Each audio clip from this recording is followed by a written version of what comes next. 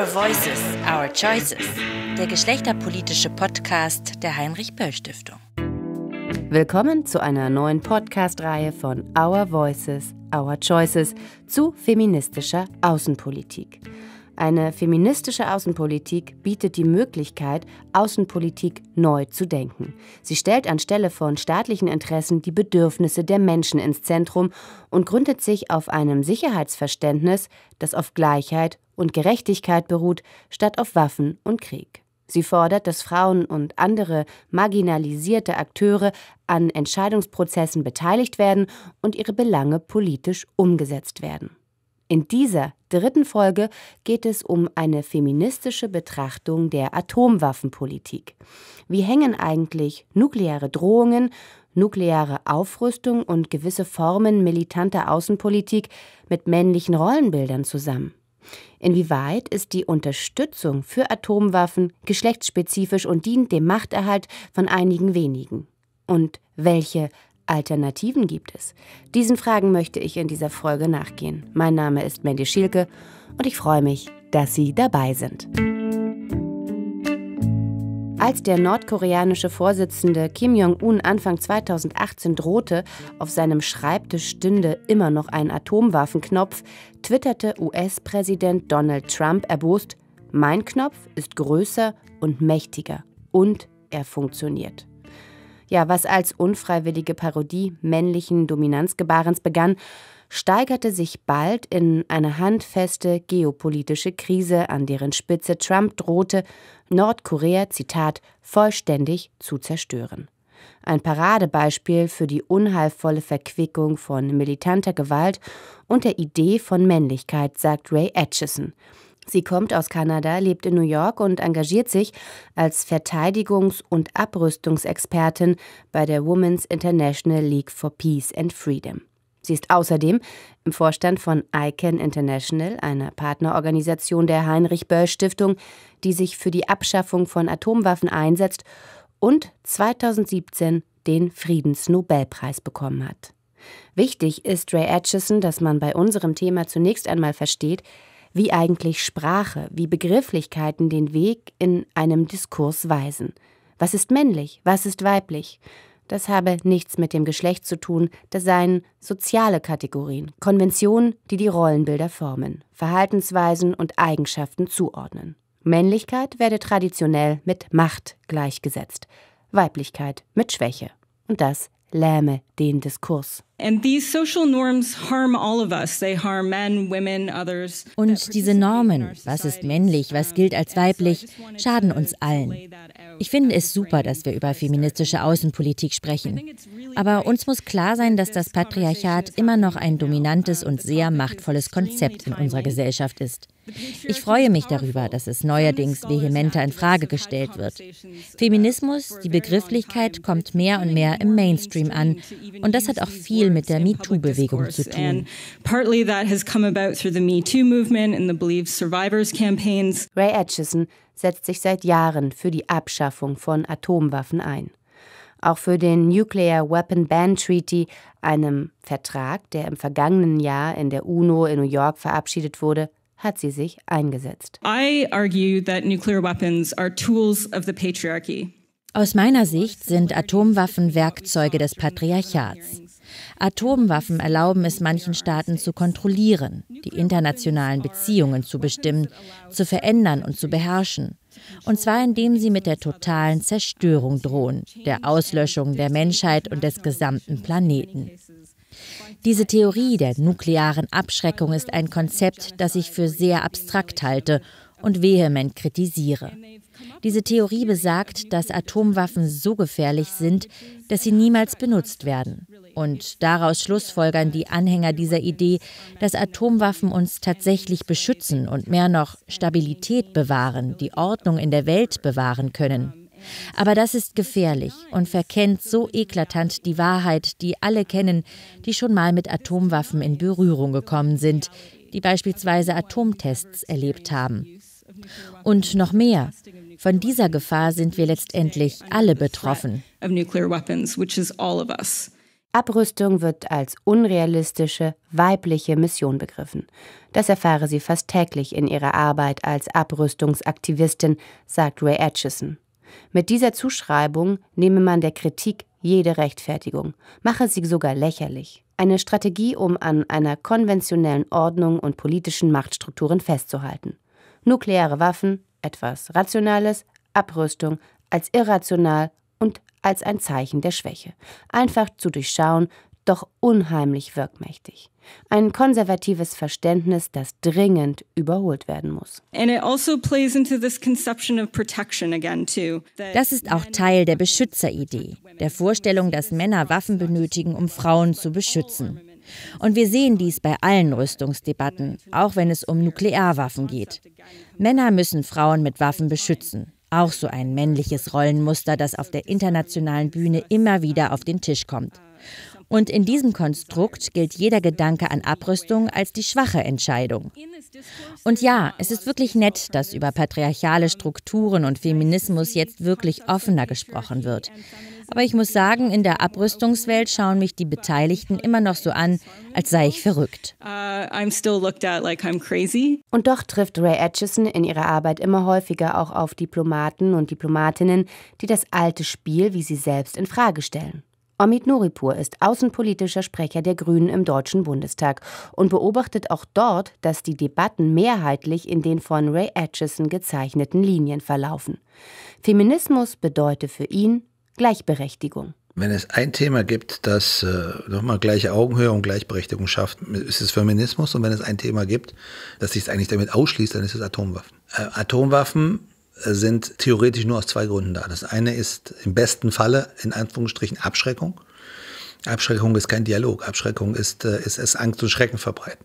Das zweite ist Vernichtung. Äh, nichts davon hat irgendwie mit Demokratie zu tun. Nichts davon hat damit zu tun, dass man sozusagen aufeinander zugehen kann. Nichts davon hat mit Ausgleich zu tun.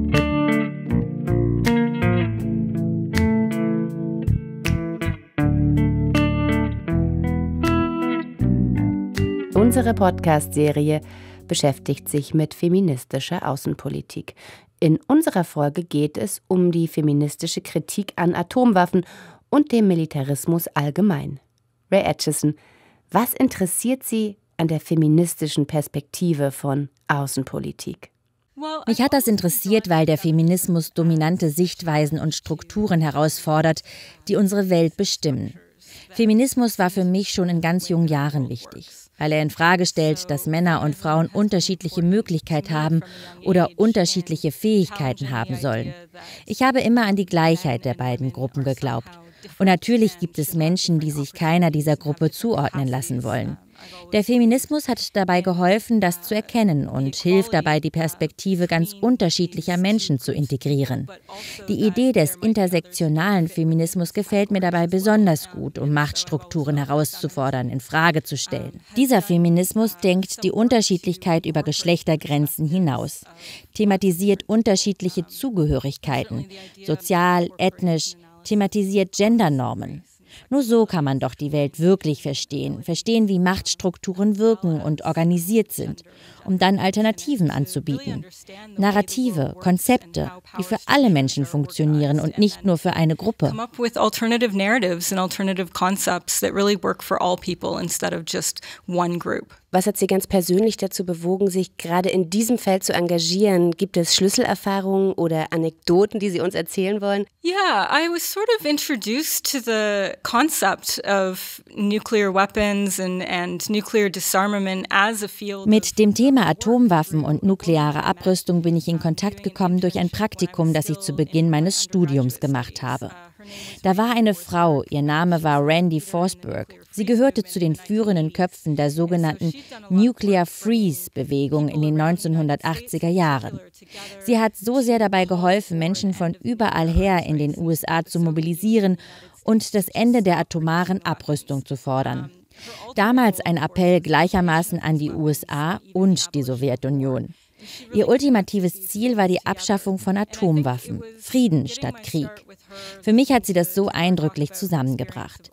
Sie hat mich inspiriert. Eine der größten Demonstrationen in den USA war 1982.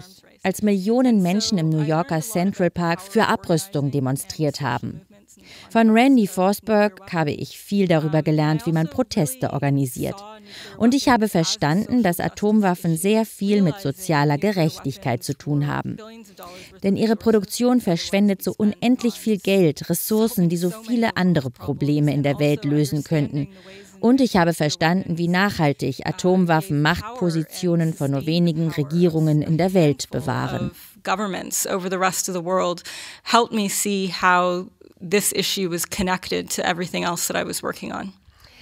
Sie kämpfen vor allem für die Abschaffung, das Verbot von Atomwaffen. Als der nordkoreanische Vorsitzende Kim Jong-un Anfang 2018 drohte, auf seinem Schreibtisch stünde immer ein Atomwaffenknopf, twitterte der US-Präsident Donald Trump, mein Knopf ist größer und mächtiger und er funktioniert. Was haben Sie gedacht, als Sie diesen Satz zum ersten Mal gelesen haben? I thought to myself, is this ich habe mich an einen Essay von 1987 erinnert. Einen Essay, in dem die feministische Wissenschaftlerin Carol Cohn über den Sprachgebrauch von Politikern und Diplomaten schreibt. Phrasen, die bei strategischen Besprechungen im Kalten Krieg immer wieder verwendet wurden. Diese Sprache, die Waffen sexualisiert und die die Verwendung von Atomwaffen sexualisiert. Waffen, die penetrieren, Waffen, die mit Geschlechtsteilen verglichen werden.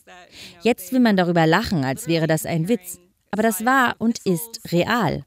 Und dass der amerikanische Präsident solch eine Sprache verwendet, ist für mich geradezu ein Flashback.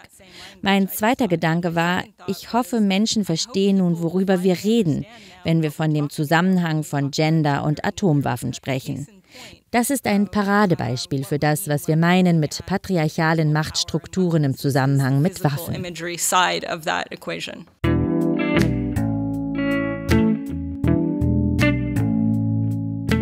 Und so hat Donald Trump der feministischen Kritik an Atomwaffen vielleicht sogar einen Dienst erwiesen. Einer Kritik, der es, so Ray Atchison, darum geht, Barrieren zu beseitigen, um neue Räume für Alternativen, den Diskurs über Alternativen zu eröffnen und um Platz für neue Narrative zu konstruieren, in denen die Sorge um die Menschen auf diesem Planeten nicht als schwach angesehen, sondern als Stärke begriffen wird. Genau das würde in ein Sicherheitskonzept münden, das sich an den menschlichen Bedürfnissen orientiert. Eine Auffassung, die Ines Kappert teilt. Sie leitet das Gunda-Werner-Institut für Feminismus und Geschlechterdemokratie der Heinrich-Böll-Stiftung und weist darauf hin, dass Frauen in nationalen und internationalen Gremien der Außen- und Sicherheitspolitik nach wie vor stark unterrepräsentiert sind. Wenn Frauen überhaupt vorkommen in der Außenpolitik, dann kommen sie in aller, aller, aller Regel als Opfer vor. Sie werden nicht als Expertinnen zur Kenntnis genommen, dass man Opfer und Expertin sein kann, an sich also eine Alltagserfahrung ja von jedem von uns. Das ist in der Außenpolitik schon nicht mehr denkbar dass wir ein anderes Nachdenken von Sicherheit brauchen, ja, also Sicherheit nicht über Massenmord, sondern Sicherheit tatsächlich über, eine, über ein Konzept der sogenannten menschlichen Sicherheit, ja, das ist ein ganz, ganz wichtiger Baustein einer feministischen Außenpolitik. Und das bedeutet eben, dass es nicht um die Staatssicherheit geht, sondern dass tatsächlich Menschen auf dem Planeten, in einzelnen Staaten, in bestimmten Regionen sicher sein können. Bei der feministischen Perspektive in der Außenpolitik geht es viel um Rollenbilder, um Sprache, aber auch um andere Gewohnheiten, Konventionen, die in der immer noch von Männern dominierten Außenpolitik seit Jahrhunderten gelten, erläutert Christine Lunz vom Center for Feminist Foreign Policy am Beispiel des Spannungsfeldes zwischen Diplomatie und Aktivismus. Und ich bin auch davon überzeugt, dass Diplomatie und Aktivismus nicht solch konträre Begriffe sind, wie die wohl weitläufig oft angenommen werden. Ne? Also Diplomatie und die, die, Verhaltensweisen, die darin angenommen werden, über welche, welche Themen darf man ansprechen, welche nicht, welche sind angebracht, ähm, was ist irgendwie so undiplomatisch, das sind Kodizes, die auch lange, lange, vor vielen, vielen Jahren irgendwie festgelegt wurden, was denn angebracht wäre, was, welches Themen man anbringt. Und ich glaube, Aktivismus und Diplomatie muss zusammengehören. Und eine Margot Wallström, eine schwedische Außenministerin beispielsweise, wird ständig vorgeworfen, sie würde Diplomatie mit Aktivismus verwechseln, mit ihrer feministischen Außenpolitik. Aber das können nur irgendwie diejenigen vorwürfen, für die Diplomatie ja seit langem genau schon so funktioniert und die eigenen Ideen und Realitäten widerspiegelt. Und Omid Nuripur ergänzt. Der Stellenwert der feministischen Außenpolitik ist einfach zu klein. Es ist offenkundig, dass wenn man Frieden stiften will, und das ist ja das oberste Ziel von Außenpolitik, dass man verschiedene Sichtweisen zusammenbringen muss. Das ist ja eigentlich der Kern dessen, was Diplomatie zu tun hat. Das passiert zu wenig und das passiert bei der Einbindung von Akteuren zu wenig und Akteurinnen.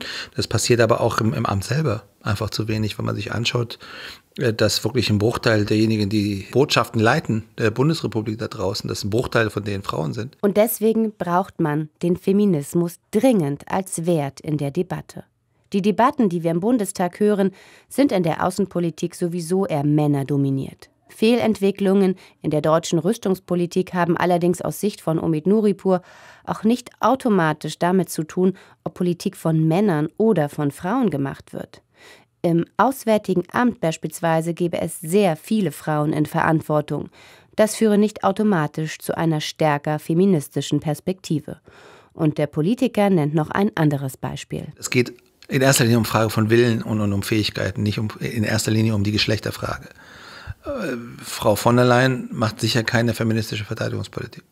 Und ihre Staatssekretärin, die sie mitgebracht hatte, die leider wieder weg ist, hat am Ende auch vieles nicht hinbekommen, weil am Ende der Wille von oben gefehlt hat, dass sie tatsächlich auch aufräumt in dem Rüstungsbereich. Da geht es ganz oft um, jetzt rede ich nicht mehr über das Verteidigungsministerium, sondern generell, da geht es ganz oft um diese altmodische, teilweise klischeehafte Art von Männerfreundschaften. Wie sehe Rüstungspolitik denn aus feministischer Perspektive aus?